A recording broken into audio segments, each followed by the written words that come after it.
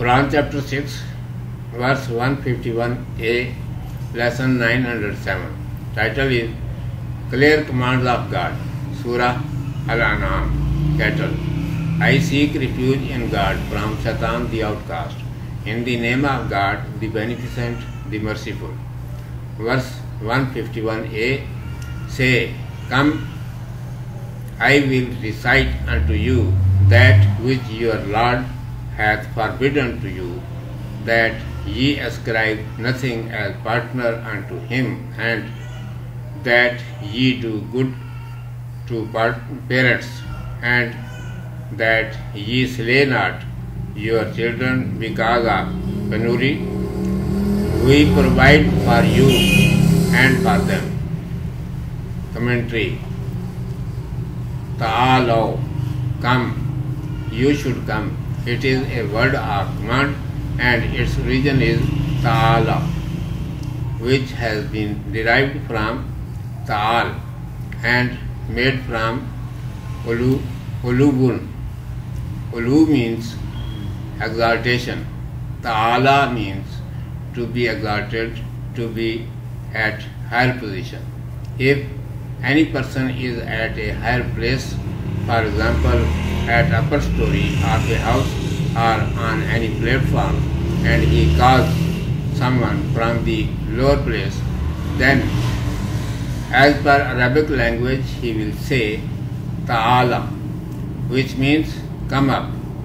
After that, use of the word ta'ala, come, was begun for calling someone closer or to draw his attention.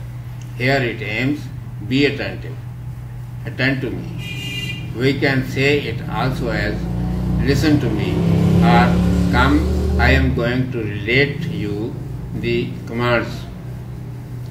Harrama, forbade.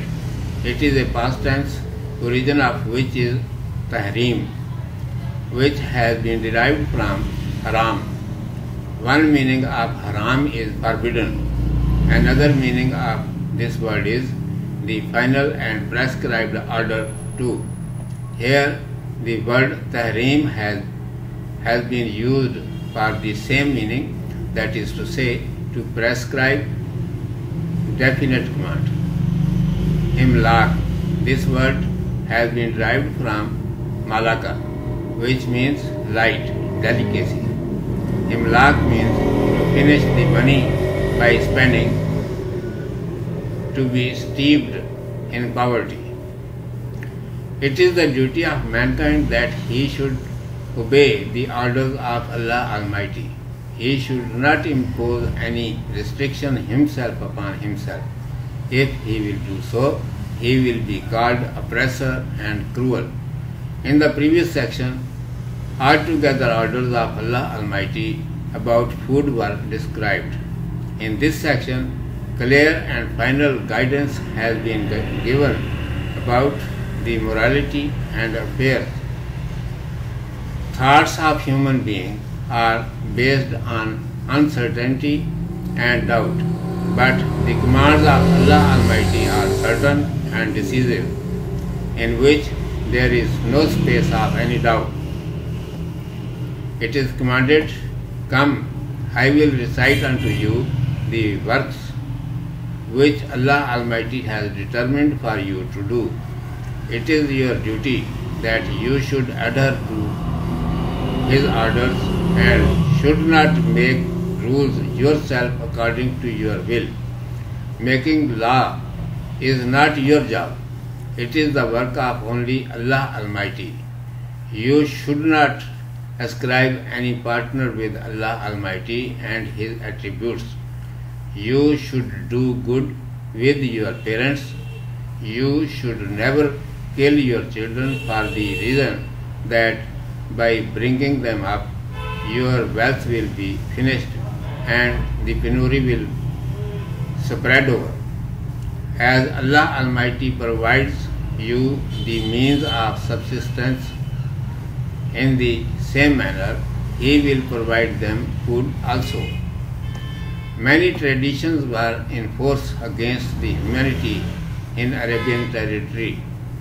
idols were worshipped and those people used to consider that the idols were a source to reach Allah.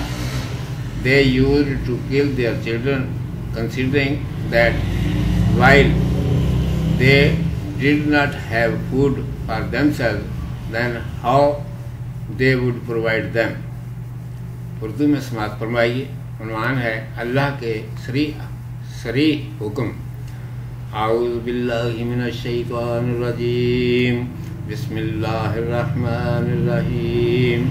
قل تعالوا أتل ما حرم ربكم عليكم ألا تشركوا به شيئا وبالوالدين إحسانا ولا تقتلوا أولادكم من إملاق نحن نرزقكم و تو کہ تم آؤ، میں سنا دوں جو تم پر تمہارے رب نے حرام کیا، کہ اس کے ساتھ کسی کو شریک نہ کرو اور ماں باپ کے ساتھ نیکی کرو اور اپنی اولاد کو باوجہ مخلصی کے مار نہ ڈالو۔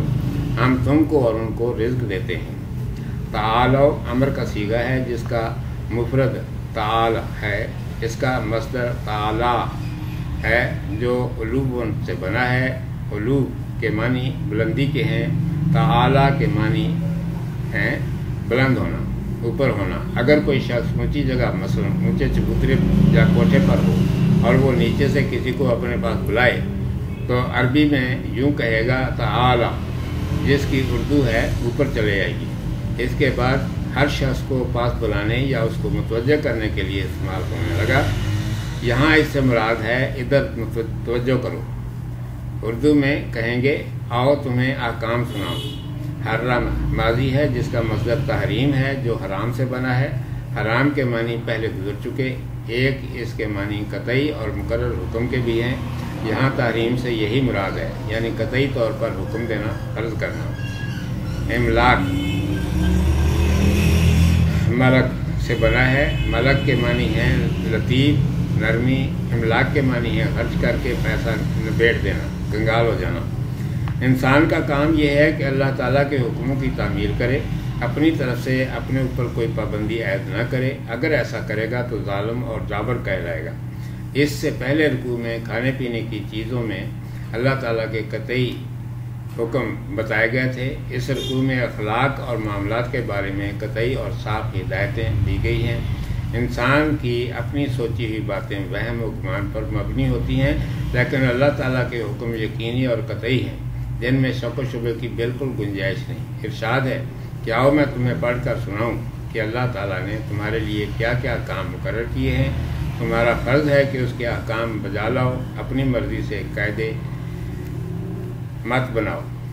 قانون بنانا تمہارا کام نہیں، یہ تو فقط اللہ کا کام ہے۔ تمہیں چاہیے کہ اللہ کی ذات و صفات میں کسی کو شریک نہ کرو، ماں باپ کے ساتھ اچھا سلوک کرو، اولاد کو اس وجہ سے کہ تمہارے پاس ان کے پالنے میں پیسہ سب ختم ہو جائے گا اور مفلسی چھا جائے گی، قتل مت کرو۔